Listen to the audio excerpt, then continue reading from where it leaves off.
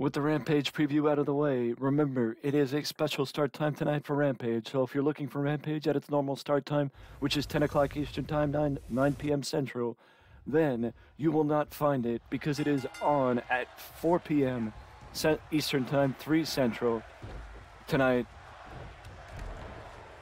But that is the previous video. For this, we are talking about wrestling news.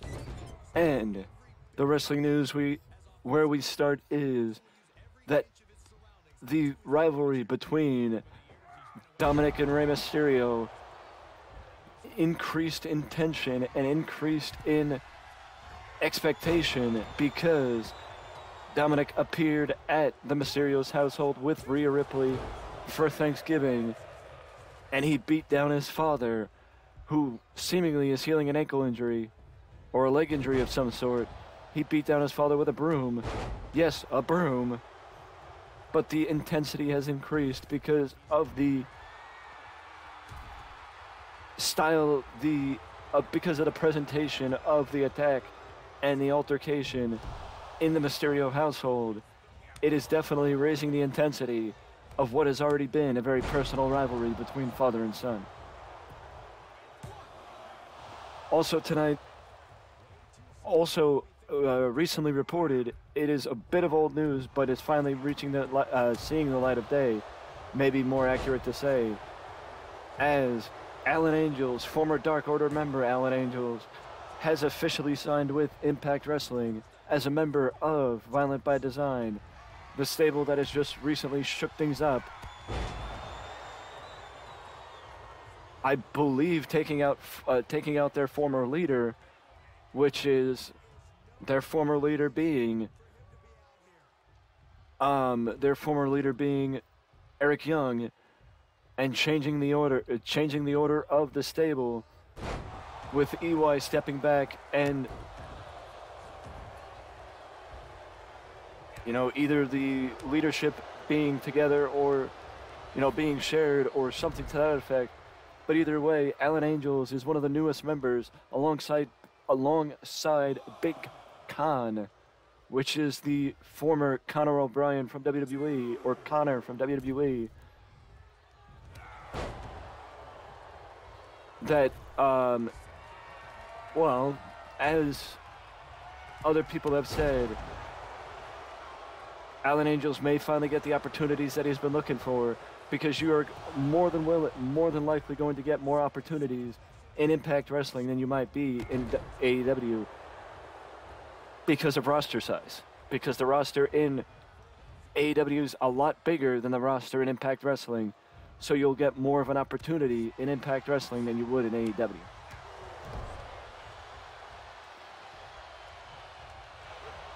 Also, I just want to mention, uh, uh, as an update from a couple of days ago, New Japan Pro Wrestling, Wrestle Kingdom 17, which we will not break down the card because there is no new there are no new matches announced for Wrestle Kingdom 17.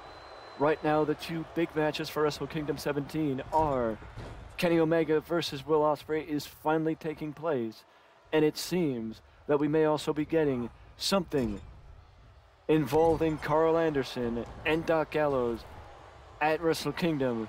So we might be seeing Stardom, AEW, and WWE talent all compete on the same show. Which is going to be a first time for everything. It's going to perfectly embody, perfectly embody the concept of a first time for everything. Sorry, I got the hiccups. But the main news from from the top Japanese promotion is that Wrestle Kingdom 17 will again be a two-night spectacular, but it will not be the two night spectacular that similar to the two night spectacular we see with WrestleMania every year. It will be a little bit different because Wrestle Kingdom 17's first night will take place on January the 4th when Wrestle Kingdom normally takes place. But the other night will be January 21st.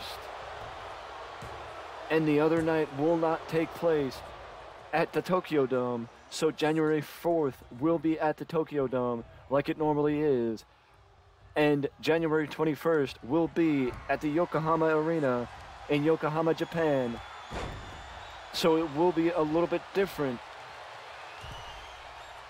than in past years, but similar to last year because last year it was also in the Yokohama Arena. And you got to wonder if it's going to be similar to last year because last year the second day of the event or the second event, whatever you want to call it, was more of a featured uh, co-promotion battle between all, uh, New Japan and Pro Wrestling Noah. So you got to wonder if Noah's going to be featured in the second uh, the second show as prominently as they were last year, especially considering the fact that Pro Wrestling Noah has one of their top stars, that being the Great Muta, going on a retirement tour next year. So it is a question of what's going to happen, including Muta, next year with Wrestling or, you know, uh, what's going to happen with Wrestle Kingdom, because thus far only matches, the only matches that are set up for the event are the match is set for January 4th. But you have to figure that more matches will be announced as we get closer to not just Wrestle Kingdom, but 2023. Another note is that the Money in the Bank match is not definitively going to be moved to WrestleMania like some may have thought. In my opinion, though, if you are getting rid of gimmick pay-per-views, then Money in the Bank does have to be removed from the calendar because otherwise you can't say you're getting rid of all gimmick pay-per-views. And in my opinion, I think if you want to get rid of the Andre the Giant Memorial Battle Royal or if you're not going to bring it back, then moving Money in the Bank to WrestleMania would be the perfect would be the perfect way to have a multi-person match on WrestleMania and well still have it make sense because you don't really need another battle royal if you don't want to have the Andre the Giant Memorial Battle Royal once again because the Andre the Giant Memorial Battle Royal I believe has not been featured on WrestleMania since COVID but either way, that's something that we have to, you know, keep an eye on because it is not definitive that WrestleMania will house Money in the Bank because Money in the Bank is not officially off the pay-per-view calendar next year or the premium live event calendar next year. According to reports, there is also going to be a reported shakeup within the ranks of the Dark Order, which I think the Dark Order is in desperate need of because the, the faction has been showing some weakness and some tension over the last couple of months. And they can't just rely on the legacy of Brodie Lee to keep the stable going. They need some direction, they need some change. They need something to give the stable a shot in the arm. Otherwise, maybe it might be time to just break them up. But speaking of a shot in the arm, this is probably the worst segue I can give. Next year is the 30 year anniversary of Monday Night Raw next January. So we're going to be kicking off 2023 with a heavy bit of news going into the 30th anniversary of Raw in the end of Jan- uh, right alongside the Royal Rumble. But the report is Ric Flair will finally be returning to WWE after what nearly two years away from the company. So you had to figure this is something that was going to happen when Triple H took over, and inevitably, inevitably, but Ric Flair will be uh, will be a guest. I'm assuming at the 30th anniversary of Raw, and apparently will be there live at the Royal Rumble in San Antonio, which the Royal Rumble is going to be held at the Alamodome. And from what I'm understanding, the reported ticket sales for the Alamodome and the Royal Rumble have been very impressive for WWE as they may be setting a record for the Alamodome. And you know you got to figure that with the momentum WWE's been having since Triple H took over, there's a reason for it. But this just also proves that the expectations for next year's Royal Rumble, especially after the underwhelming, uh, the underwhelming, well, the underwhelmingness of this year's Rumble, I don't know why I froze.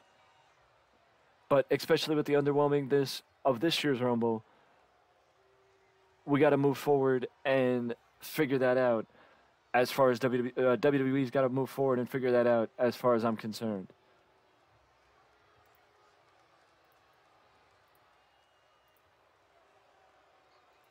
And the fact of the matter is, that means that the bar is set very high for the first Royal Rumble that Triple H is running without Vince McMahon. Either way, though, I do appreciate everybody stopping in, or I do appreciate you clicking on the video and hearing my thoughts on wrestling. And I want to hear your thoughts down below in the comment section on anything I spoke about in this video or anything on your mind that is going, or that is currently going on, or you want to see happen in the world of professional wrestling. But if you don't want to leave a comment, you can also let me know you're enjoying this content by leaving a like and subscribing to the channel because any and all interactions are helpful and do very much and are very much appreciated. And until next uh, uh, and until next time, before you go, do not forget to ding dong that notification bell to always know when a new video is up on the channel. And I will see you all again soon.